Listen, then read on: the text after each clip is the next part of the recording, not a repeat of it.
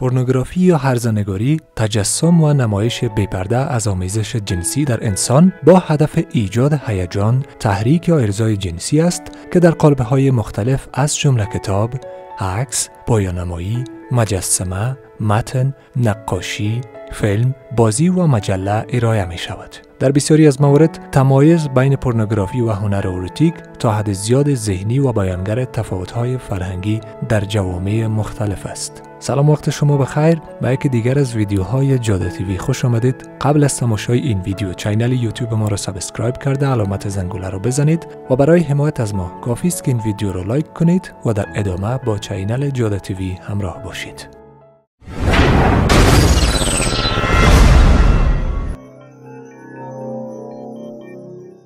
ریشه لغت پورنوگرافی. پورنوگرافی ریشه یونانی دارد و از ترکیب دو واژه پورن به معنای روسپی و واژه گرافو به معنای نگارش به وجود آمده است و به معنای روسپی نگاری است. مشخص نیست برای اولین بار در چه زمانی در یونان باستان از این کلمه استفاده شد اما کلمه مشخصا از سالهای نخستین سده 19 میلادی در زبان فرانسه استفاده شده و از این زبان به دیگر زبانها منتقل شده است. در دوران پیشا تاریخ تا کنون بشر آشکارا به توصیف سکس و برهنگی پرداخته است. تندیس ها و هنرهای سنگتراشی بجامانده نمونه های از این تصویرگری ها است. در میان باستان نیز آثاری از بشر کشف شده است که سکس با جنس مخالف را به صورت واضح نشان می‌دهد. ادبیات و نوشته های عاشقانه اغلب با دین عقاید فراتبی درباره تمایلات جنسی که شامل آثار هنری، صنایع دستی، موسیقی، نقاشی های دیواری و شعر بود در هم تنیده می‌شد. قدمت نقش های بجامانده در غارها از دوران پارینه سنگی که بدنهای برهنه و اندامهای تناسلی را تصویر کرده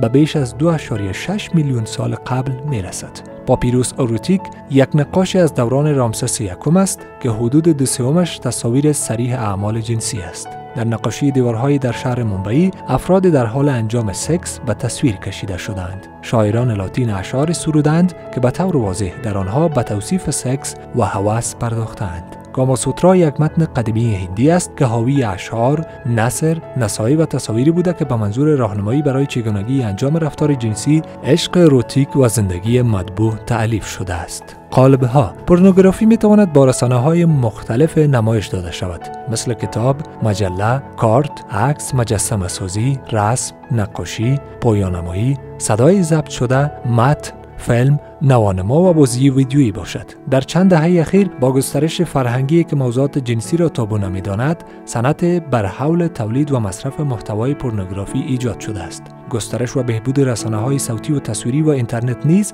در رشد آن نقش مهم داشته است. آمارها نشان می دهند که 50 فیصد کاربران اینترنت به طور مرتب پرن تماشا می کنند هرزنگاری ادبی به متن می‌گویند که در آن بر فعالیت های جنسی بسیار تاکید می شود به طوری که ممکن است به بر انگیختگی هیجانات جنسی بیانجامد. سانسور هرزنگاری معمولا به صورت نشان ندادن بعضی از تصاویر در کتاب ها در بسیاری از موارد حذف شده است. با چنین اقدامات و حتی تعریف پورنوگرافی در زمانه ها فرهنگ ها و ملت های مختلف دچار تغییر شده است. تخمین درآمد صنعت بالغان در ایالات متحده مشکل است. در سال 1970 یک مطالعه فدرال تخمین زد ارزش کل خورده فروشی پورنوگرافی در ایالات متحده از 10 میلیون دلار بیشتر نباشد. گزارش مرکز تحقیقات فورستر در سال 1998 حجم درآمد سالیانه صنعت پورنوگرافی را از طریق اینترنت بین 750 میلیون دلار تا 1 میلیارد دلار تخمین زد. صنعت پورنوگرافی به عنوان یکی از صنایع پیشتاز در استفاده از فناوری های جدید پخش ویدیو به حساب می آید. بر برای این سند نقش تعیین کننده در جنگ بین فرمت های ویدیویی VHS و بتاماکس در دهه 1980 و همچنین جنگ اخیر بین فرمت های دیجیتال قائل شدند. این خود نشان دهنده حجم و اهمیت این صنعت در تولید و پخش ویدیو است. اما امروز برخلاف دهه های 80 و 90 که برخی ستارگان پرن حتی با ستارگان هالیوود برابری می کردند دیگر کمپانی های پورنوگرافی سود میلیاردی ندارند. پخش رایگان ویدیوهای پرن خانگی میزان فروش این صنعت را شدیدا تنزل داده است. وضعیت قانونی پورنوگرافی از کشور به کشور دیگر و بنا به نگاه فرهنگی هر جامعه و قوانین برآمده از آن متفاوت است. اغلب کشورهای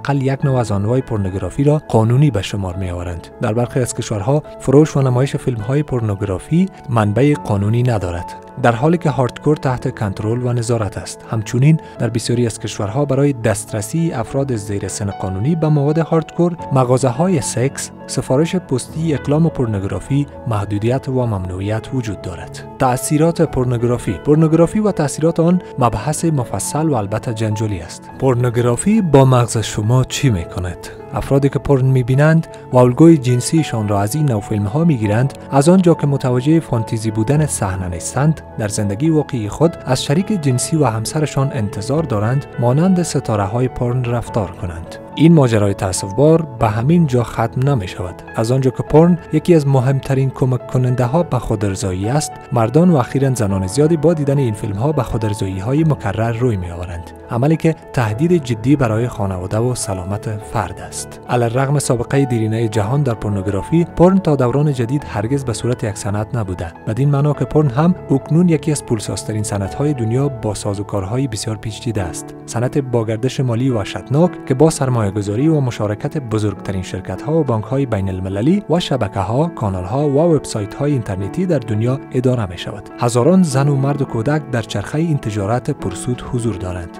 قلب این صنعت کثیف آمریکا است. رابطه جنسی که در پرن به تصویر کشیده می شود به هیچ عنوان یک رابطه یادی انسانی احساسی و متعارف نیست. رابطه است که در آن زن به شدیدترین شکل تحقیر شده و تا حد یک آشغال بیمغزی که از آزار دیدن لذت می‌برد پایین می آید. پرن انسان زدایی از زنان و تبدیل مردان به موجودات شهوت پرستی است که مردانگی مرد را تنها در کامجویی خشن و وحشیانه از زنان می بینند. پورن برای مخاطبینش فانتزی می سازد و از طریق این فانتزی آنها را معتاد می کند. اعتیاد به پورن وحشتناک است زیرا روح و روان فرد را به شدت درگیر می کند بدین معنا که حتی اگر فرد به لحاظ جسمی حس شهوت نداشته باشد اما ذهنش مدام درگیر صحنه های جذاب پورن است و به شدت وسوسه می شود که به سراغ اینترنت رفته و یکی از آن صحنه ها را تماشا کند. تصور کنید پسر نوجوانی را که با یک کلیک ساده وارد یکی از این سایت می شود متنی که در لحظه ورود می بیند این است ما به تو یاد می دهیم چطور به یک مرد واقعی تبدیل شوی. چیزهایی که اینجا می‌بینی آرزوی هر مردی است. اگر تو مردی پس این کارها را انجام می‌دهی. در ادامه پسر نوجوان با حجمی از پرنهای وحشیانه مواجه می شود که در آن زنان با رکیکترین و تحقیر آمیزترین الفاظ نامیده می شوند